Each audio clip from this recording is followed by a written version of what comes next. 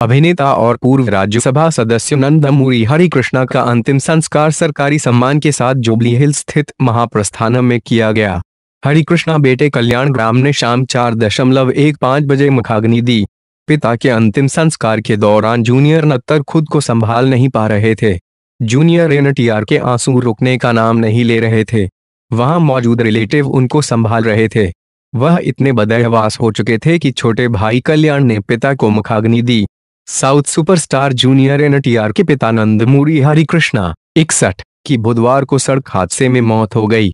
AP के मुख्यमंत्री नारा चंद्र बाबू नायडू, मंत्री तलसानी श्रीनिवास यादव, अभिनेता जूनियर एनटीआर और गणमान्य व्यक्ति उपस्थित थे।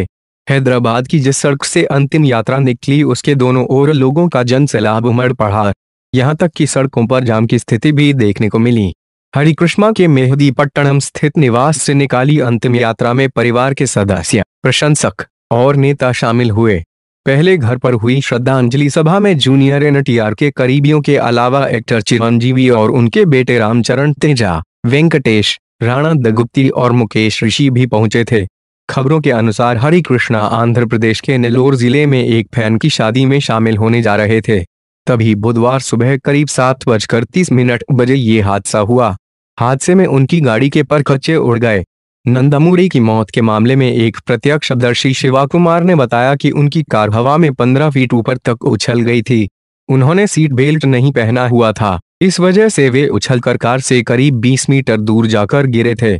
कार हरि कृष्णा ही चला रहे थे और हादसा नलगोंडा हाईवे पर हुआ। सड़क हादसे में उन्हें सिर पर गंभीर चोटें आई थीं, जिसके बाद उन्हें अस्पताल ले जाया गया। अस्पताल पहुँचते ही डॉक्टरों ने उन्हें मृत घोषित कर दिया।